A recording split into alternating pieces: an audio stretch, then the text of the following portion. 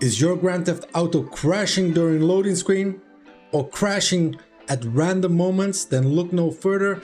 This tutorial will fix that for you. In today's video, we are going to be installing the game config file with the necessary files to make your Grand Theft Auto 5 working again. So before we do that, I would like to inform you this video is for educational and entertainment purposes only. If you find any value in this video, which you will, please smash that like button, hit that subscribe button so you can start following my channel. So let's get started.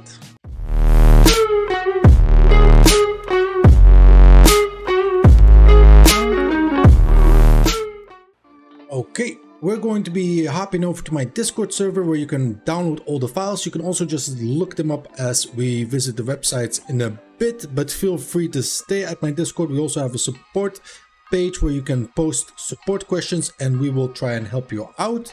We also have a installation service, a remote installation for service for lazy people where we install LSPDFR, uh, graphic modifications and much much more.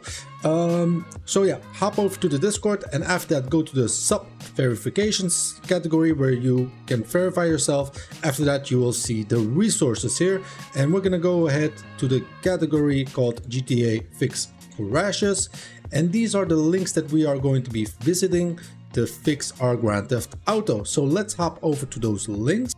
The first one is going to be Script-hook-V, heap adjuster, pack file limit adjuster, and the game config file itself. Let's start by downloading them. Script-hook-V. Of course, watching this tutorial means you already have OpenIV installed or else you wouldn't have had installed any modifications and you won't have any issues. Um, so I won't be installing OpenIV. Um, if you want to know how to do that, I also have a tutorial for that. Uh, let's open up the files and also open up our Grand Theft Auto main directory folder. Okay, on our left side we have our Grand Theft Auto main directory folder and on our right side the files we downloaded. Let's start with Script-hook-V, double click on it, go to the bin folder and we are installing Script-hook-V again. Uh, if you're experiencing any crashes, then maybe Script-hook-V has been updated. That's why. And the links that I'm showing you today are always the updated version ones. Um, so this will also, this tutorial will keep on working also for newer versions. Uh, you just select these two files and drag them, drag and drop them in the Grand Theft Auto main directory folder. then we'll go to the heap adjuster and we're gonna select them and drag and drop them in the Grand Theft Auto main directory folder. And now we're gonna change something. This is to uh, make sure you get no crashes. We're gonna change the 750 to 2000 and we're gonna save it. then we're gonna go back. We're gonna go to pack file limit adjuster and we're gonna select these two and we're gonna drag and drop them in the Grand Theft Auto main directory folder also here we're going to open up this file and we're going to change this to 40,000 and we can close that also and save it.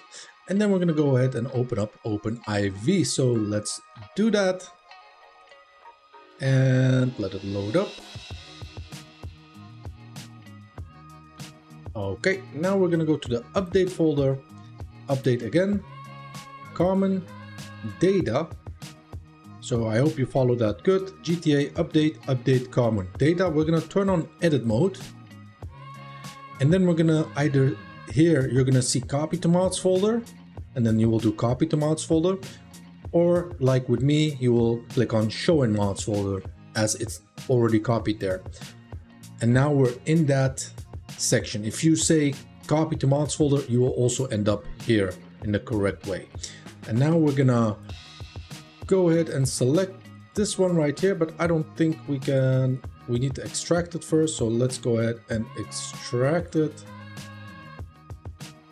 Right click on it and use whatever you have to extract it, WinRAR or 7-zip, double click on it. Go to this one right here or the newer version if you're watching this in a late later date. Double click on it, double click on here and then you can choose whatever you want. Do you want more traffic or do you want stock traffic? For this tutorial, I'm going to be using the stock traffic. I'm gonna click on the file and drag and drop it right here. And that's it. It's that easy. So if you were experiencing any crashes during Rage plugin hook, um, you can launch it now and it will fully launch it again. If you experience crashes during gameplay after 10, 20, 30, 40 minutes, then this will also fix it for you. Uh, that's about it for this tutorial. I hope you enjoyed it. Um, let me know if it worked for you. Also, feedback is very valuable, so let me know if you have anything for me. And don't forget to smash that like button and hit that subscribe button. Thank you again for watching and have a good day. Goodbye.